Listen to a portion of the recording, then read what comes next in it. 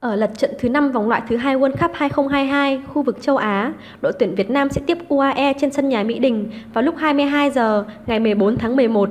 Đây là một trận đấu rất quan trọng, ảnh hưởng trực tiếp đến cơ hội đi tiếp của cả hai đội tuyển.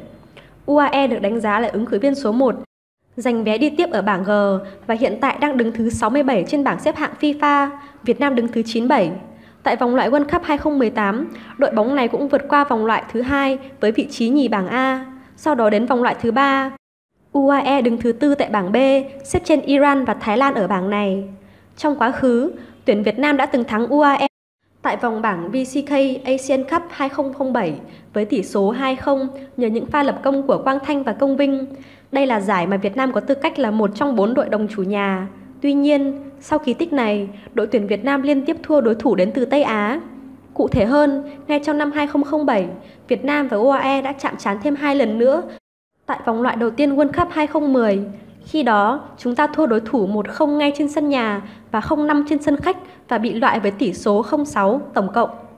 Đến năm 2013, Việt Nam lại gặp UAE tại vòng bảng của một vòng loại Asian Cup 2015. Chúng ta tiếp tục thua đối thủ 1-2 trên sân nhà và 0-5 trên sân khách những kết quả này là một phần nguyên nhân khiến Việt Nam không vượt qua vòng loại Asian Cup 2015.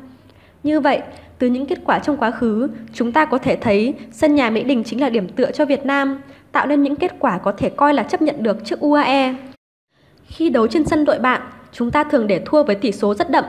Chính vì vậy, trận đấu sắp tới giữa hai đội bóng trên sân Mỹ Đình sẽ là cơ hội tốt để Việt Nam bứt phá. Chỉ cần thắng trận này, cơ hội lần đầu bước vào vòng loại thứ ba của một kỳ World Cup sẽ sáng hơn bao giờ hết với đội tuyển của chúng ta. Đội hình dự kiến ra sân Việt Nam gồm có Văn Lâm, Duy Mạnh, Ngọc Hải, Tiến Dũng, Trọng Hoàng, Hùng Dũng, Tuấn Anh, Văn Hậu, Văn Toàn, Quang Hải và Anh Đức. Về UAE chúng ta có Khalis Elisa, Mohamed Ameliha, Mohamed Omar Osta, Khalafi Ahamanani, Ahasa Sela, Jami Zakur Sama, Tari Amen, Ahmed Khali, Omar Aburarama, Hansa Ali, Ali Saleh,